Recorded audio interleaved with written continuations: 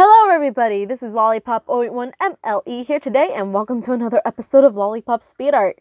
And this time, I am doing a princess regent, and her name is Sophia Alekseyevna of Russia. Now, basically, um, her story was covered in Star Media's documentary series, um, covering the 300 years of Romanov rule in the Tsardom in the Russian Empire. So, Sophia was the daughter of Tsar Alexis I from his first wife, Maria Miloslavskaya. And um, she was also the sister to Fyodor III and Ivan V. She is also the older sister to Peter the Great, where again he came from Natalia Naryshkina, Alexis's uh, second wife. Now, again, Alexis, Ale- I'm going to use Alexei and Alexis interchangeably. So, with Sophia, she was born in September of 1657 and she ruled as regent from 1682 to 1689, um, ruling for her younger brothers Ivan and Peter.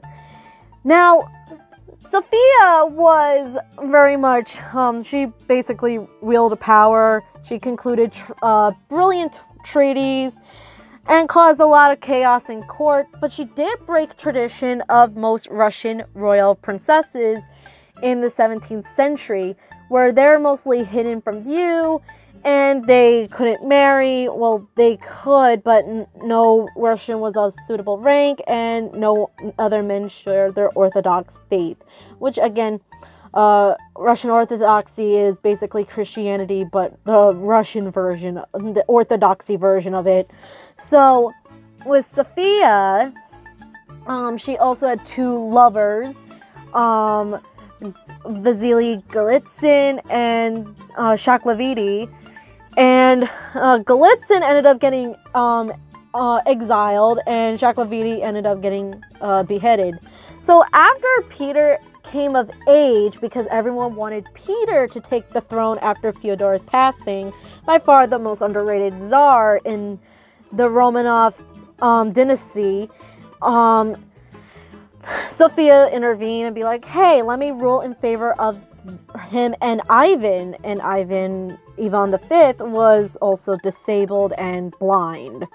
So once Peter came of age, and it was time for him to take over the throne, and Sophia was refusing to take over power and basically threatening his life on two occasions. Peter was like, you know what, F this. Um, she was stripped of being Princess Royal and Tsarevna, and she was sentenced to a monastery where she went under the veil of Susanna, and she passed away in 1704 and that's when the Russian dynasty became an empire. So, anyways, that is it. It's up. The final piece is up on my DeviantArt. art. I hope you enjoyed this. And don't forget to subscribe, follow me on social media Twitter, Instagram, Reddit, and DeviantArt, all linked in the description below. And also stay tuned for more Lollypop speed art and Lollypop things in the future. I post every Friday and sometimes on Saturdays.